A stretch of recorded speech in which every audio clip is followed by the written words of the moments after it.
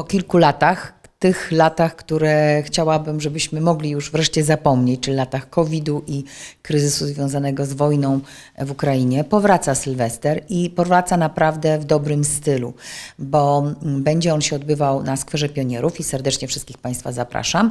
Rozpoczynamy zabawę o godzinie 21. A w programie imprezy znajdziemy atrakcje dla wszystkich, niezależnie od wieku. Będzie muzyka, będzie DJ, będą animacje, będą animatorzy, będą również pokazy y, tańca i pokazy y, tańca z ogniem.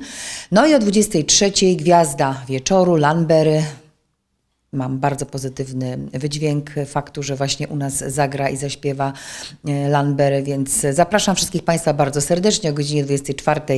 Powitamy nowy rok, złożymy sobie życzenia. Wszyscy, którzy chcą się po prostu wspólnie bawić w przestrzeni miejskiej, to jest bardzo dobra okazja. Teren znany wszystkim, łatwo dostępny, bezpieczny. E, no i myślę, że, że nie tylko mieszkańcy skorzystają, ale również turyści, którzy przyjeżdżają, bo piszą do mnie z różnych części Polski, że przyjeżdżają do Kołobrzegu na Sylwestra i cieszą się, że będą mogli tego Sylwestra e, spędzić razem z mieszkańcami właśnie na Skwerze Pionierów.